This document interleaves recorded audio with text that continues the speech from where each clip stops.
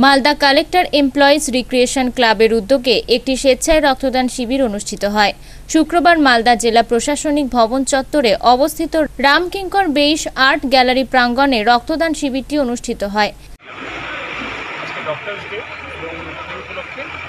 আমাদের Malda employees education club একটা রক্তদান শিবির আয়োজন করেছে।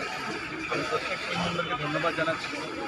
এবং এই ধরনের মালদা জেলাতে আরও অন্যান্য অর্গানাইজেশন এনজিও ক্লাব তারা কিন্তু রক্তদান শিবির করে থাকে যখনই রক্তদান একটা ক্রিয়েটেড ক্রাইসিস হয় আমি প্রত্যেক সেই ধরনের অর্গানাইজেশনকে এই প্ল্যাটফর্মের মাধ্যমে ধন্যবাদ জানাচ্ছি। এদিন রক্তদান শিবিরে উপস্থিত হয়ে রক্তদান করেন জেলাশাসক নিতিন সিংহানিয়া।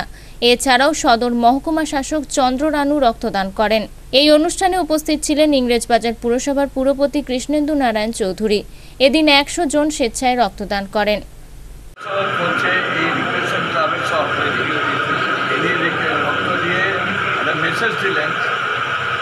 সবাই যাতে রক্তদানে উৎসাহ হয় বা রক্তদান করে আমরা খুশি যে রিক্রেশন ক্লাব হাজার কাজের মধ্যে আজকে ডক্টরস ডেতে এবং রথযাত্রা, সেখানে রক্তদানের আয়োজন করছে।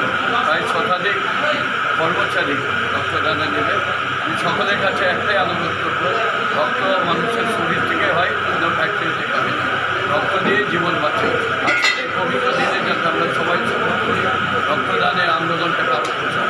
মালদা থেকে দেবু সিংয়ের রিপোর্ট, আনন্দ বার্তা।